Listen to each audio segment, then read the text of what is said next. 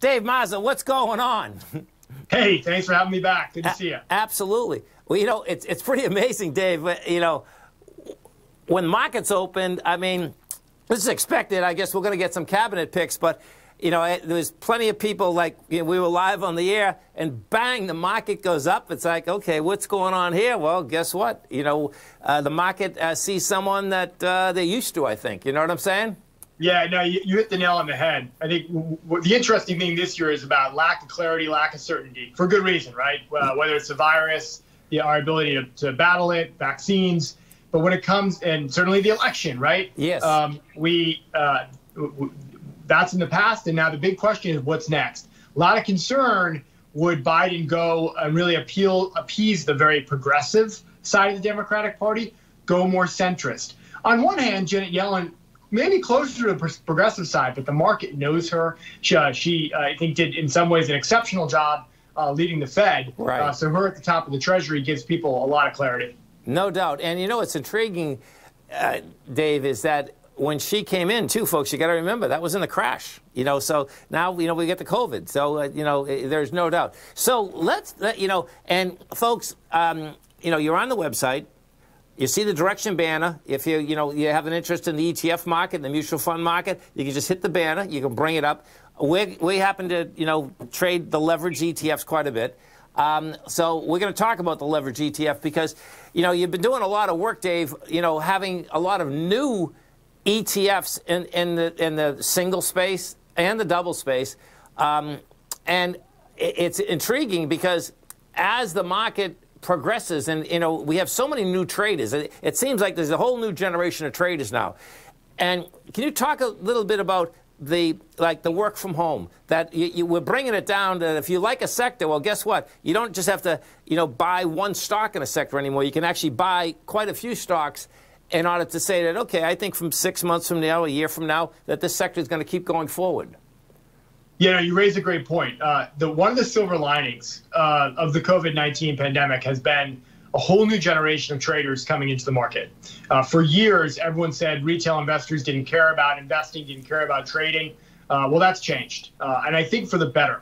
More people involved with markets, uh, the better. And what we are seeing is both an uptick and an increase in new traders uh, who maybe have been trading a bit before, but taking a look at our leverage and inverse products. That was what we're best known for. Yes. Whether uh, it's uh, on the small caps with uh, TZA, TNA, the gold miners, uh, Nugget Dust, etc. Uh, but we also have products that are just one beta products, and what that means is that they're not leveraged. They just take a collection of, of stocks, and in the case of our work from home ETF, ticker WFH, takes a look at the 40 stocks that are helping companies and individuals with this transa- transition to having more people work from home.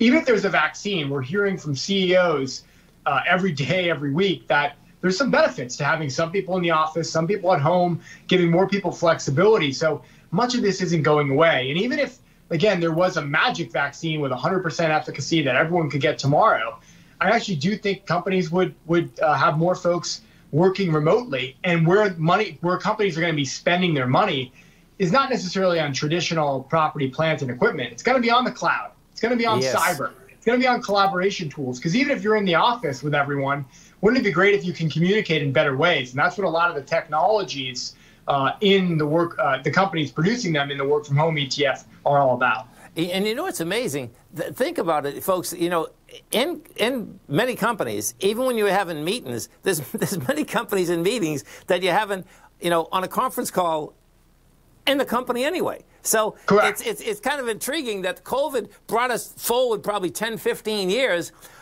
but we know technology has brought us forward in a huge way. And if you want to keep your people happy and you want to keep them productive, that ride to work and ride from home is a huge savings, man. I mean, it's a huge savings, right? Pretty amazing. Well, that's, the, that's, that's the whole point. Uh, and that's one of the reasons why we saw uh, performance-wise, we actually saw the work-from-home ETF dip a bit uh, when we saw this uh, when the vaccine news first came out on the 9th of November.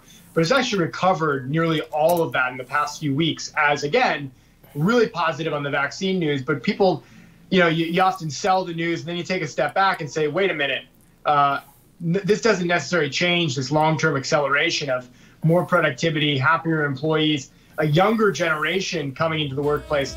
I've been doing a lot of work on Generation Z. Man, those guys are going to want the flexibility that comes with remote work. There's no doubt. And folks, the ticker is WFH. It's at $59. It's right at its highs. It's ready to correct to break topside, man.